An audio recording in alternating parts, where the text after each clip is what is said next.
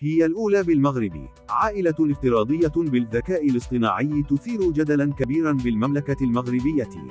بعد أن حظيت الشخصية الافتراضية، كنزة ليلي، المطورة بتقنية الذكاء الاصطناعي، باهتمام واسع على منصات التواصل الاجتماعي، اتخذت الشركة المغربية التي طورتها خطوة إبداعية جديدة، فطورت أخا وأختا لام، كنزة ليل، لتشكيل أول عائلة افتراضية في المغرب قادرة على صنع المحتوى والتواصل مع البشر.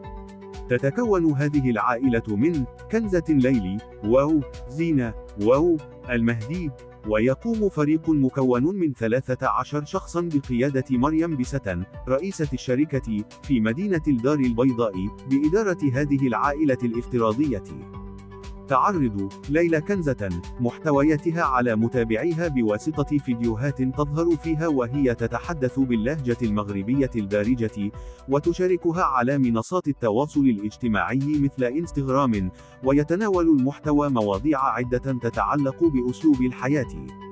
ملهمة العائلة الافتراضية تعد مريم بستن صاحبة الأربعين عامًا، وراء ابتكار عائلة كنزة ليلي الافتراضية. ولدت مريم في مدينة الرباط، وتابعت دراستها في مدينة مكناس حتى حصولها على شهادة الثانوية العامة. ثم انتقلت إلى فرنسا، لإكمال دراستها العليا في مجال التسويق والإعلان لمدة خمس سنوات، قبل أن تعود إلى المغرب، عام 2008، للعمل في مجال التجارة مع عدد من الشركات الكبرى. في عام 2016 أسست مريم وهي حاليا أم لبنتين شركة لا تولي ديجيتال المتخصصة في المجال الرقمي. وابتكرت شخصية كنزة ليلي الافتراضية عام 2023 مستفيدة من تقنيات الذكاء الاصطناعي. توضح مريم أنها استلهمت فيكرة.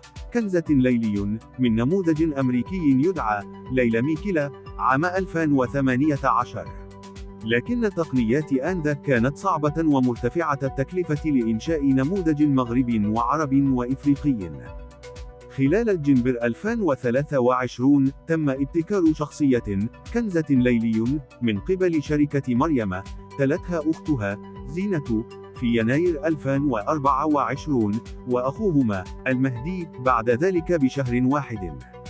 تضم الشركة 28 موظفا يعملون في مجال التسويق ومنصات التواصل الاجتماعي والذكاء الاصطناعي، 13 منهم متخصصون في مجال الذكاء الاصطناعي وتطوير الشخصيات الافتراضية.